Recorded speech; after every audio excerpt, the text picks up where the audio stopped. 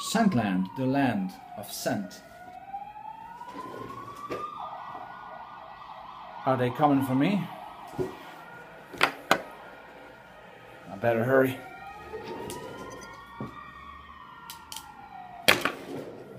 Ha! Um, well, it's Chris, not with a fragrance review this time, rather uh, an announcement. And there's nothing bad or nothing wrong or nothing, you know, in particular.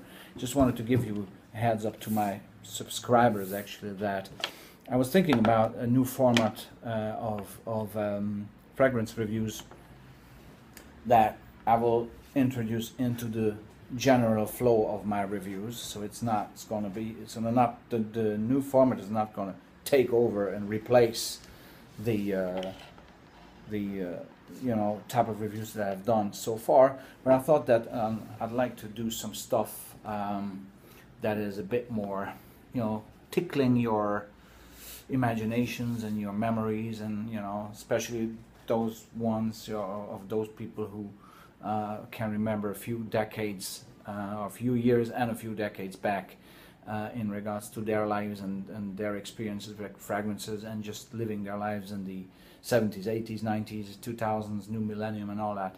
So I, I, I would call this new type of format a um, fragrantic timeline, reeling back the years.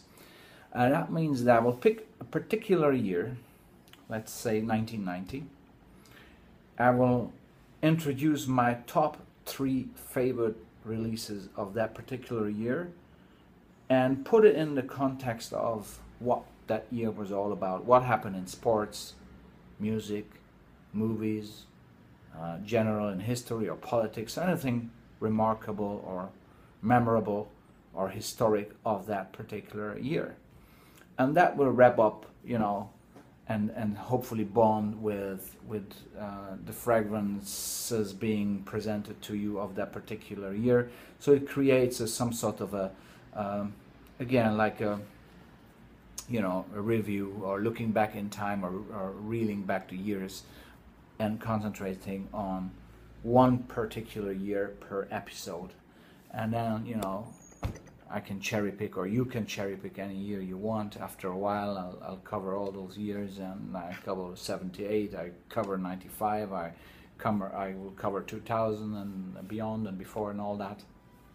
And I just want to make it a little bit more interesting, and maybe again, those viewers, subscribers that you know like this type of you know reeling back to years. Again, I love it. You know. Um, because I, I really think in terms of years. I remember like 1994 or uh, 2010 or last year or 1979 or you know and then if I put it in context it makes me obviously a bit you know nostalgic maybe it's okay you know it's okay if if if you're not you know drowning yourself in nostalgic feelings rather you just look back on to them and, and you know you smell those three uh, fragrances that you know are related to that particular. It's kind of fun. I hope you like it. Let me know in the comments. And the first year i'm gonna be um, featuring soon is gonna be the year of 1993